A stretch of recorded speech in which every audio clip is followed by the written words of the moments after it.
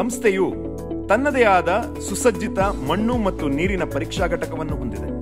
ಮಣ್ಣಿನಲ್ಲಿರುವ ಪ್ರಧಾನ ಪೋಷಕಾಂಶಗಳ ಕೊರತೆ, ಕ್ಷಾರೀಯತೆ ಮತ್ತು ಆಮ್ಲೀಯ ದೋಷಗಳನ್ನು ಸರಿಪಡಿಸಿಕೊಳ್ಳುವ ವಿಧಾನವನ್ನು ತಿಳಿಸಿ, ಆಯಾ ಮಣ್ಣಿನ ಗುಣಕ್ಕೆ ಅನುಕೂಲವಾಗುವಂತಹ ಸೂಕ್ತವಾದ ಬೆಳೆಗಳನ್ನು ನಮ್ಮಲ್ಲಿರುವ ತಜ್ಞರು ಸಲಹೆ ನೀಡುವರು. ಇದರಿಂದ ಅತಿಯಾದ ರಾಸಾಯನಿಕ ಗೊಬ್ಬರದ ಬಳಕೆಯನ್ನು ತಡೆದು ಮಣ್ಣಿನ ಗುಣಮಟ್ಟವನ್ನು ಹೆಚ್ಚಿಸಲು ಸಾಧ್ಯವಾಗುತ್ತದೆ.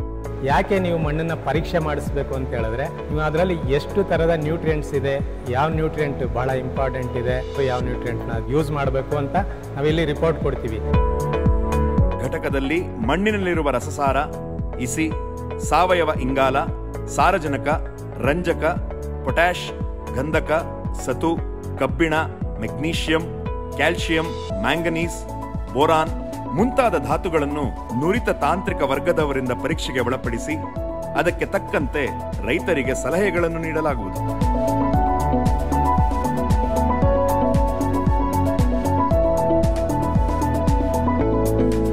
ಪಿಎಚ್ ಅಂದರೆ ರಸಸಾರ.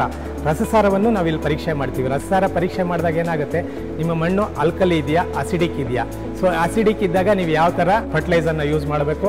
ಅಥವಾ ಆಲ್ಕಲಿ ಇದ್ದಾಗ ಯಾವ ಥರ ಫರ್ಟಿಲೈಸ್ ಯೂಸ್ ಮಾಡಬೇಕು?